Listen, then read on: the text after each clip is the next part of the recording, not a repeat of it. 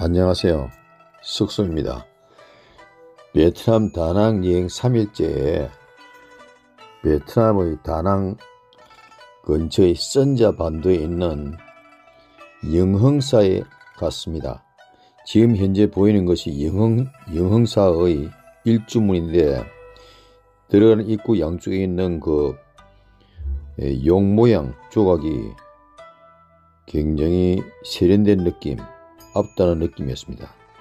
그리고 이와 같이 누워있는 불상 와불이 에, 와불이 있었는데 아주 어, 독특한 느낌을 주었습니다. 그리고 현재 보이는 에, 불상은 관세음 보살상 혹은 관음상 혹은 해수 관음상이라고 하는데 높이가 68m가 되고 예, 높이가 가장 높다고 합니다. 아파트 약 30층이 된다고 합니다. 그리고 현재 보이는 것은 사리탑인데 여기에 돌아가신 분들의 사리를 모시는 곳이라고 합니다. 아주 근엄한 분위기였습니다. 다낭 선자 반도에 있는 영흥사는 그 면적이 어마어마했습니다. 예, 한국의 절과는 완전히 다른 느낌이었습니다.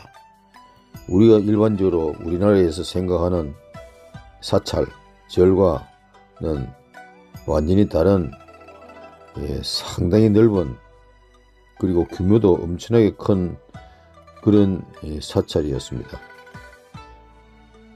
예, 요 앞에 분재가 분재와 18 라한상을 좌우에 쭉 이렇게 예, 설치를 해서 상당히 근엄한 그런 느낌이 들었고 현재 보이는 나무는 웬골 보리수 혹은 반얀나무라는 것인데 예, 뿌리가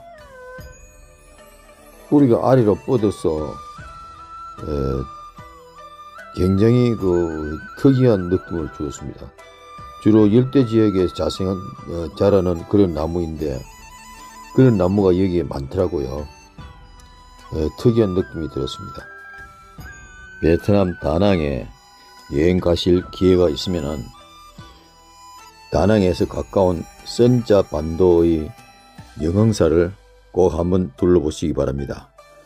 그 어, 해수 관음상도 특이하고 여러 가지 격리의 시설도 일반적인 우리가 생각하는 사찰과는 완전히 다른 어, 굉장한 규모로 되어 있더군요.